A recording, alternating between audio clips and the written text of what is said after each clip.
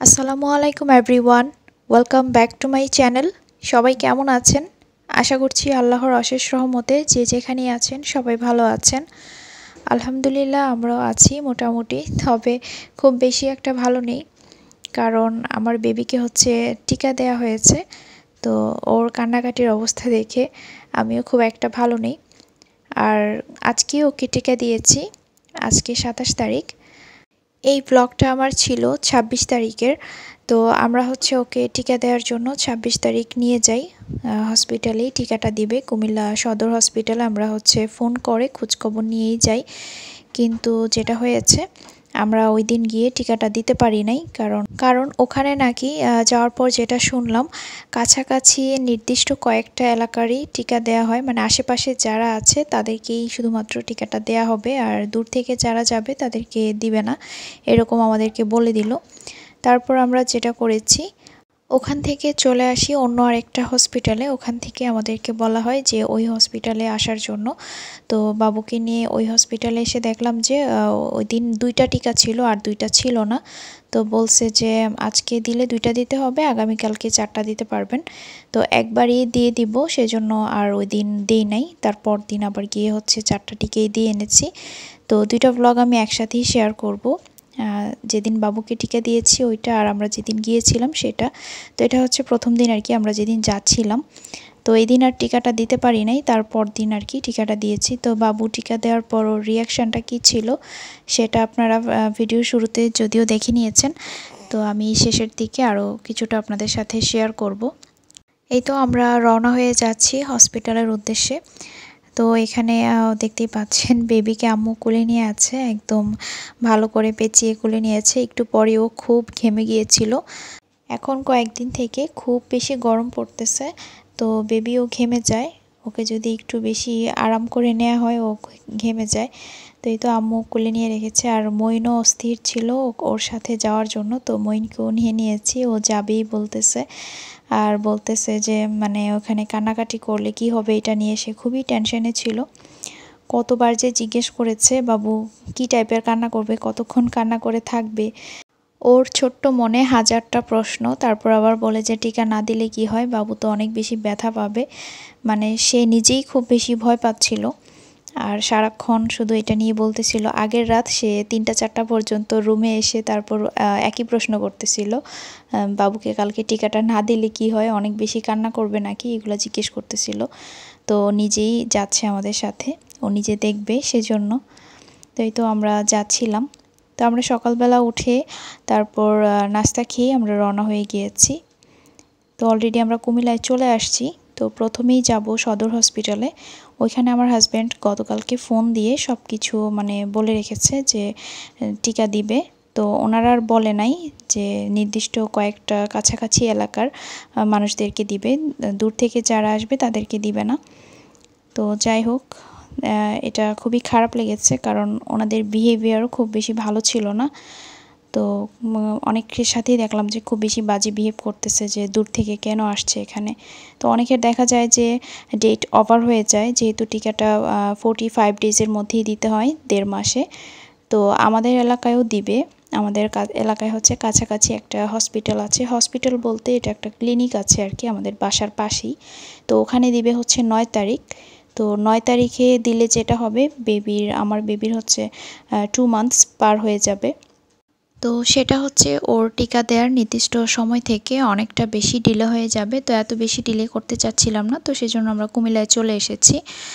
এখানে যে সরকারি হসপিটালগুলো ওইগুলোতে দেয়া হয় আর কি। তো যদিও ফোন কলে খোঁজ খবর নিয়ে এসেছি, তারপরও হতাশ হলাম। দিল তো নাই, উল্টা আরও সবার সাথে মিসবিহেভ করে দিল। তো সরকারি হসপিটালে যা হয় আর কি। তো আমাদেরকে ওখান থেকে বলা হয়েছে আরেকটা হসপিটালে যাওয়ার জন্য। ওইটা হচ্ছে রাজদেবী মা ও শিশু কল্যাণ, এটাকে শিশু মঙ্গলও বলে কুমিল্লাতেই। তো তারপর আমরা ওখান থেকে আবারও ওই জায়গাটাতে যাই। তো যাওয়ার পরে তো বললামই, যেটা বলেছে, দুইটা টিকা ছিল আর দুইটা ছিল না। তো সেই জন্য ওই দিন আর দুইটা দিই নেই, কারণ টিকা দিলে জ্বর উঠতে পারে, কান্নাকাটি করবে। তো একসাথেই হোক, বারবার করে ভেঙে দিলে তো আরও বেশি প্রবলেম দুইবার কান্নাকাটি করবে, দুইবার জ্বর উঠবে। তো যাই হোক, আমরা হচ্ছে সদর হসপিটালের খুব কাছাকাছি চলে এসেছি আর অনেক বেশি জ্যাম ছিল এখানে। তো জ্যামের মধ্যে থাকতে থাকতে একদম অবস্থা খারাপ হয়ে গিয়েছে। কাছাকাছি এসেই খুব বেশি জ্যাম পড়ে গিয়েছে। আর এই তো বাবু আম্মুর কোলে আছে।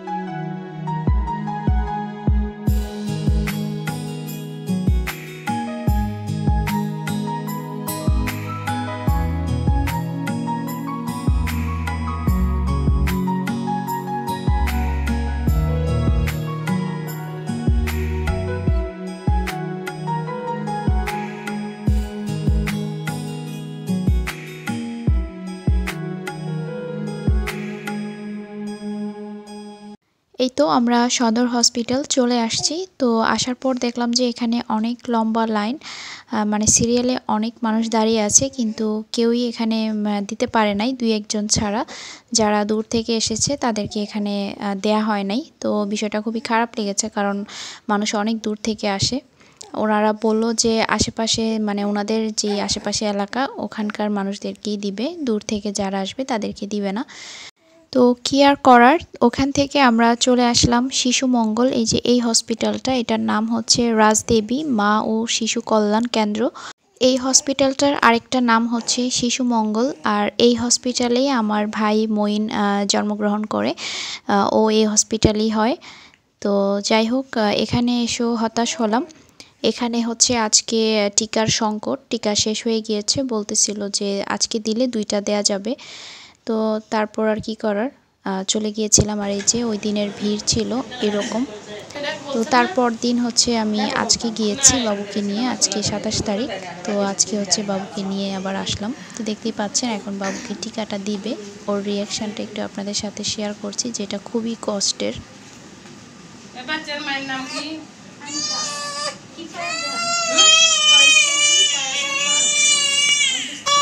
আগামী রবিবারে আইসা বাম হাতে টিকা করে কিন্তু আমরা সকালে টিকা লেগে যাইতাম না। টিকা জেলে না যাব পারবেন নাহলে আগামী মাসে যেখানে যান বলেই চলবো বাম হাতে টিকাটা দেওয়া হবে। বাম এত দূর থেকে আবার আসবেন আবার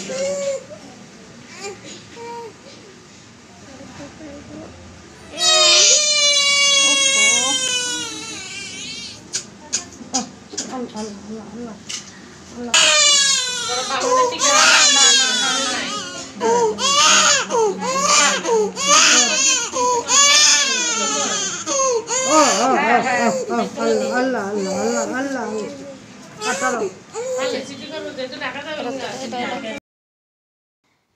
এই তো দেখতেই পেলেন, আমার বাচ্চাটা কতটা কান্না করেছে। তখন আমার বুকটা ফেটে যাচ্ছিল ওর কান্নাটা দেখে।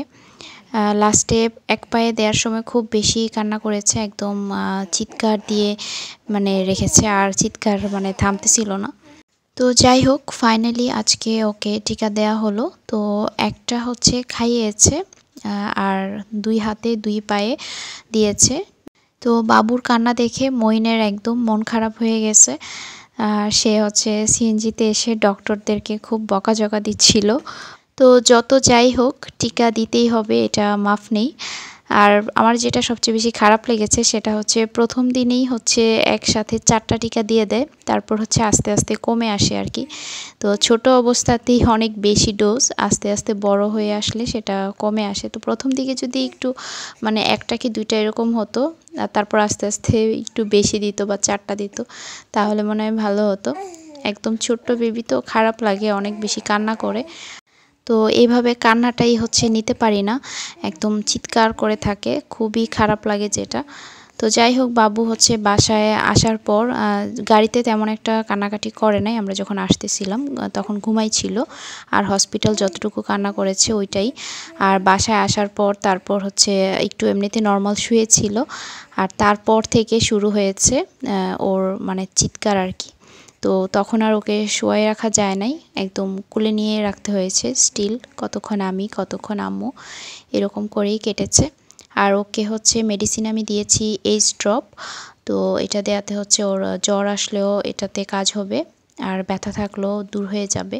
তো যাই হোক বাবু, আলহামদুলিল্লাহ, ভালো আছে। আপনারা সবাই দোয়া করবেন ওর জন্য। আর সন্ধ্যা থেকে রাত পর্যন্ত আলহামদুলিল্লাহ সে বেটার ছিল। জানি না মধ্যরাতে কি করবে। আমি এখন ভয়েস ওভার করতেছি। এখন হচ্ছে বাজে রাত সাড়ে নয়টা। মানে আজকেই বাবুকে টিকা দিয়েছি। তো এখন বাবু জেগেই আছে আমার পাশে। এখন একটু খেলা করতেছে। তার আগে খুবই কান্নাকাটি করেছে। ঠিকমতো খায় নাই। তো যাই হোক এখন একটু খেলাধুলা করতেছে আবার যে কখন স্টার্ট হবে জানি না। তো আমরা হচ্ছে আসার পথে একদম আমাদের মানে বাসার কাছাকাছি এসে যে গুমতি নদীর ব্রিজটা পড়ে, এটাকে পালপাড়া ব্রিজ বলে, তো ওইখানে এসে খুবই জ্যাম লেগে গিয়েছিল। মানে ওইখানে মনে হয় ট্রাক অ্যাক্সিডেন্ট করেছিল কিছু একটা, তো ড্রাইভাররা বলল যে এখানে তিন চার ঘন্টাও জ্যাম ছাড়বে না, এটা বলল। তারপর আমরা হচ্ছে অন্য বিকল্প রাস্তা দিয়ে আসতেছি আর কি, অনেক ঘুরে টুরে। আর এখানকার রাস্তাটা এত বেশি সুন্দর ছিল যে আমি ভিডিও না করে পারি নাই।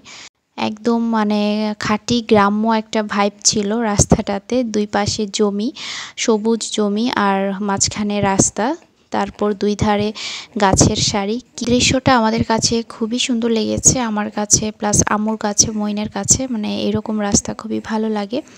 তো যাই হোক, আমার আজকের ব্লগটা আমি এখানেই শেষ করব, আর বেশি লং করব না, আপনারা সবাই ভালো থাকবেন, সুস্থ থাকবেন। আমার বাবুটার জন্য দোয়া করবেন, তো ঠিক আছে। আল্লাহ হাফেজ